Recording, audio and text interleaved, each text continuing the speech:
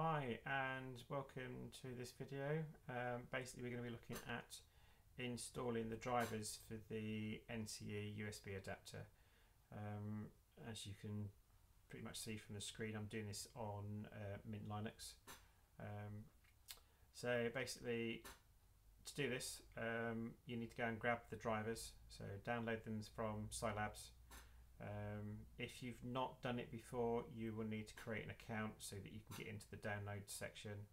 Um, it's pretty much just set it up with an email address um, and then you can go through and find those files and download those.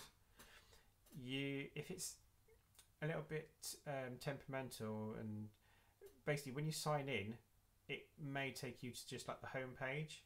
So if you if it does, just do um, a search on the website. I think I've killed the browser since then, so it's not on there. Um, it might bring up. Um,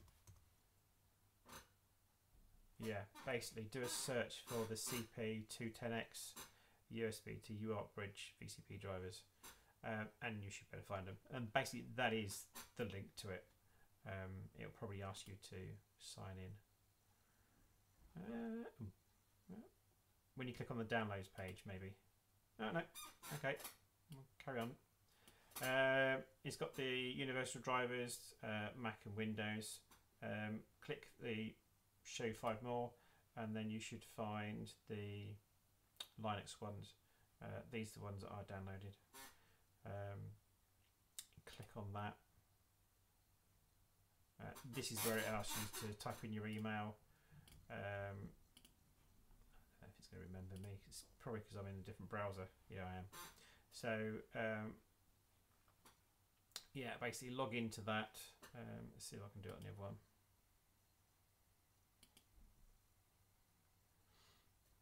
When it wakes up.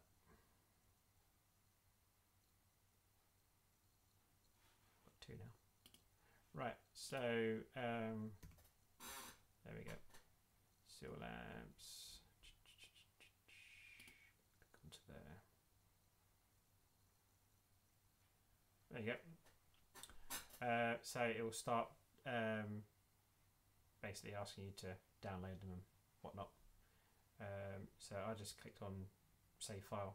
Um, you can open them with the archive manager if you want to, but it's up to you, whichever way you want to do it. Um, I won't do that again because uh, I've already got them twice, I think. So uh, I'll kill that one as well. You've basically downloaded them. Run the uh, make command in that directory. Um, so obviously change the directory first. So um, if you're in home, cd to downloads. Um, I've not been using uh, Linux for, for very long, uh, not this flavour, um, Mint. I've probably had it on this computer for about three weeks now, so I'm by no means an expert. Um, I've just muddled my way through and uh, spent a few hours trying to get myself uh, my head around it. Um, it seems to be getting there. Uh, it's a good little system, especially if you've got a computer that's uh, not um, not that modern or one that can't get another operating system to work on. Um, I'm currently running this on a 21 inch iMac from 2013, I think it is.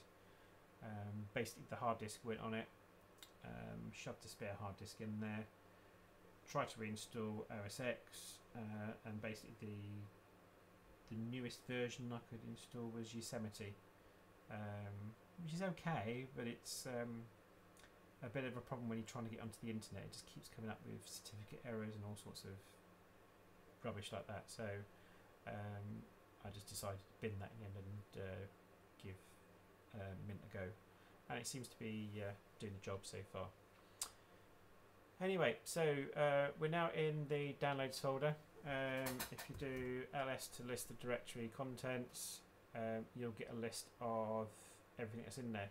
Um, I've probably got a lot more in my directory than what you may have, or different files, because I've done this already. Um, but basically, this is what comes up.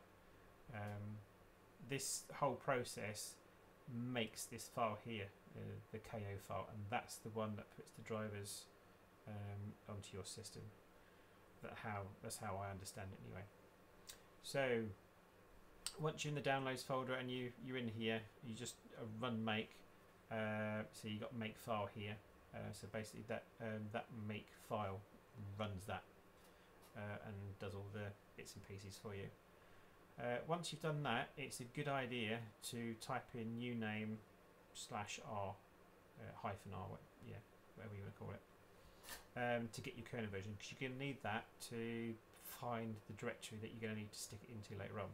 So type in uname hyphen r and then it should tell you which version you're using. So I am presently on um, slash 71, so 5.4.0 slash 71.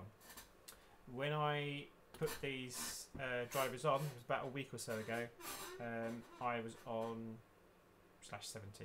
Um, today there was an update um, notification come through, so I, I ran that, which is why it's slightly different. I'm now on 71. Uh, basically, once you've um, found out which version you've got, it's probably a good idea, well, you're going to need to actually, to go into um, File Manager and go into File System.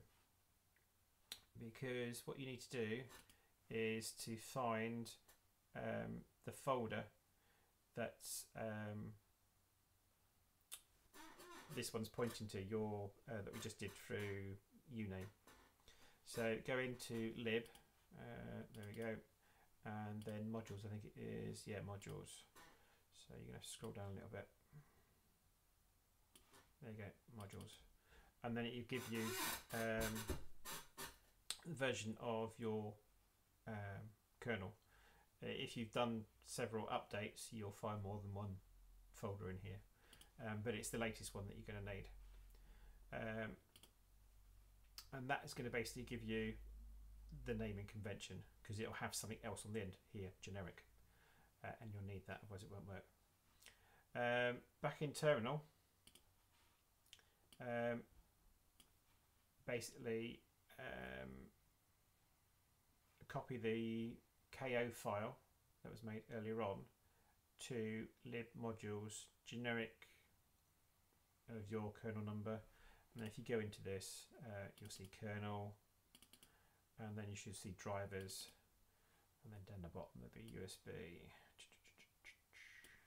there you go. And then serial so that's basically where it's going to go in amongst all these. You see you've got other KO files. Um, so that copy it.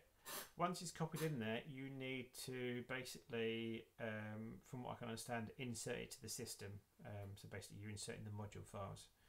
Um, and you use um, these two commands here. So sudo, which basically gives you the uh, administrative privileges to insert it into the kernel or system, whatever you want to call it. Uh, and the command is insmod, um, and then the directory where it's going to go to and the, the file. Uh, do that the same um, with the file that you made um, here. So the CP210X KO file, this is the one that you want. Uh, I think this one here is in the system already. Um, it just, I don't know, sticks it back in there for you um, because you're doing this. Uh, once that's done, you should then hopefully find uh, your CP210 KO file in there. Um, from what I can understand, you can't just copy in it. You have to do this insmod um, to insert the module into the kernel. Um, once that's done, um, I would suggest that you restart your system just to make sure that it picks up these drivers. Um, once you've done that, you can then go into um, your JMRI. Um, I'll, go, I'll go through via PanelPro. Select your profile um, my one. And then you're going to need to go into preferences. Now mine's already there. If it's black like this one is it means it's working um, but chances are you won't have anything there yet because um, especially if you've only just installed um, JMRI um, there won't be anything there if you've come across from a different system, um, then you may have something in there already.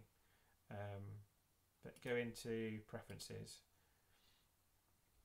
and then you should have an option you have the plus sign to basically be the only one that's here the tab to create um, a new connection. Um, sorry for this squeaky chair. Um, you'll have a drop down list for your manufacturer. Um, scroll down to you find NCE um, you need to select the USB um, option because that's what we're using. It's USB interface. And under settings you'll need to select the serial port. Um, and it should just have created for you the TTY USB 0 um, that's the basically what we've gone through the previous process uh, with makefile and all the rest of it. Uh, it should now put that in there for you. Um, select whichever system you you're using. Um, I'm using the power PowerCab. Um, just select whichever one of these you need. Um, a word about this um, depending on which one you're using will depend on which jumper settings you will need on your USB interface. Um, and it's a good idea to go to the NCE website and download the latest information sheet for that interface. Because chances are if you like the one that I got um, the information sheet is dated 2012 it's now 2021 um, and it's a little bit out of date. Um, and one of the biggest problems I found is I could not find on there anything to do with the um, details for J1 jumper 1 uh, with those jumpers. Um, basically J- what J1 does is it um, sets the speed. And if your speed doesn't match what the board thinks it should be then it's just not going to work. This bit over here is just going to be in red. Um, basically meaning the connection is not working. So um, have a look at the information sheet. There will be a um, a table with all the jumper settings on it. I don't know if I've got a download of that. Oh yes possibly. Let's have a look at that. I think it's the, the old one now. Um, let's, let's bring that up and have a look. Right. Um, let's make that bigger. Right, let's have a look. Yeah, this is the, the old one, unfortunately. So you need to find the new one. Um, but basically what you need is this table here. I'm afraid it's um, the wrong orientation. Um, but basically, you need to have a look for whichever one you're using, um, along with whatever version of the firmware or software. Very uh, sorry, version. Sorry. Um, so I've got PowerCab and 1.65. So I think it's that one, PowerCab or Twin 1.65. Jumper 2 is off sorry that one jumper 2 is off 3 and 4 are on but what it doesn't tell you in here is what jumper 1 should be doing. Um, and on mine I'm pretty sure J1 is in the on position. Yeah because off it means it's at um, 9600 um, and basically we want to run at 19200 um, So it, that if you if that setting is not matched up with the jumper setting on the board, um, this bit will just fail. Uh, so make sure that matches your board and what's on the table, and it should all work fine. Um, once you've done that, you can just click on save, and then it may take a little while, a few seconds or so, um, for this to come up as black. If it comes up as red, just give it a little while and then hopefully in a few seconds basically I think what this does is it polls the system on a regular basis um, to see to make sure that this is working and that it's got a connection there um, and it'll pick it up and as long as those settings are correct it should go black and you won't get any problems um, and then you should be able to start setting your system up for um, your layout if you haven't already, you know, if you haven't already got an existing system. Uh, it's fairly um, easy and straightforward to do. There's plenty of videos on YouTube um, to give you the, you know, a good head start. Um, if you um, basically um, need to put your um, your locos on, um, make sure you're using a programming track. I try to do it on the main and had all sorts of problems.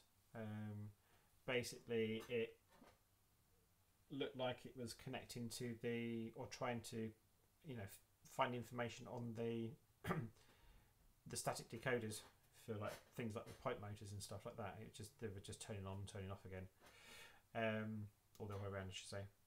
And the locos would do a little bit of a judder, move backwards and forwards a little bit, um, and that's it. And it just come up and say no loco found. Um, so sticky locos on programming track and do it that way, and it should go through without any problems. Um, and then you can go through the rest of it and set up panels and all the rest of it. Um, set up your points and your routes and all that sort of stuff. I should do some more videos later on uh, for setting up different parts, but hopefully this should be enough to get you up so you can at least um, interrogate your system for your um, your locos. Um, and yeah, have fun. Right, until the next video, see you later.